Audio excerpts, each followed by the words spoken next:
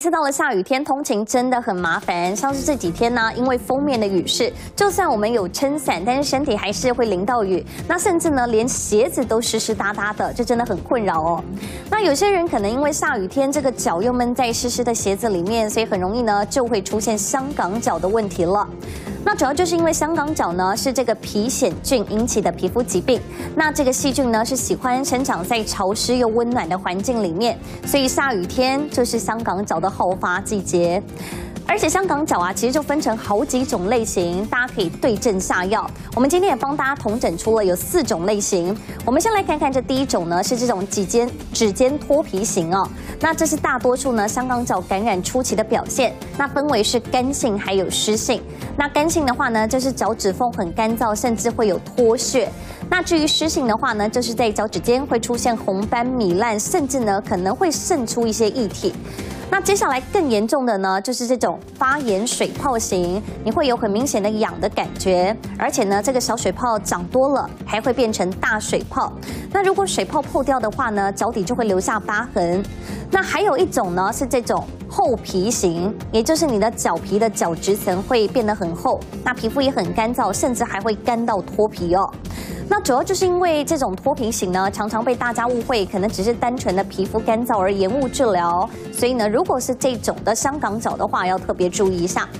那至于最严重的话呢，就是这种溃烂型，因为呢，这个伤口会一路从指尖扩散到脚掌、脚背，而且呢，常常会并发一些细菌感染，出现发红啊，甚至是皮肤破损的状况，而且呢，会有非常大的疼痛感。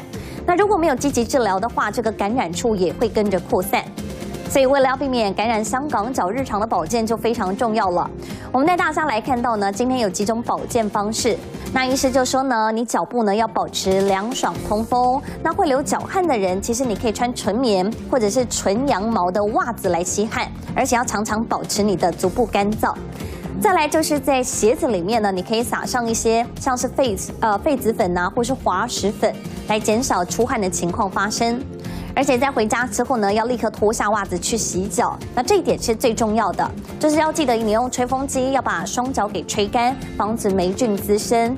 那不只是洗完脚之后要记得把双脚吹干，像是在洗澡之后啊，或是游完泳之后，也要记得把双脚擦干，或者呢是用吹风机来做吹干。那至于你也可以在鞋子上面的选择下一些功夫。那一般来说呢，为了避免霉菌的滋生，你可以选择通风的鞋子，像是凉鞋啊，或是拖鞋这一种。那你如果真的逼不得已，可能说是要上班的话，一定要穿包鞋，也建议呢尽量是选择真皮的鞋子。那如果你的家人有香港脚啊，是记得千万不要跟他穿同一双鞋子，或者呢是同一双室内拖鞋，而且袜子一定要分开洗，避免交叉感染。而且其实霉菌呢是会附着在地板上的。所以呢，在家里话，尽量要穿上室内拖鞋，也能避免把香港脚传染给家人。那做好以上这些好习惯呢，就可以有效的避免霉菌滋生。以上就是今天的健康爆你知，再提供给大家做参考。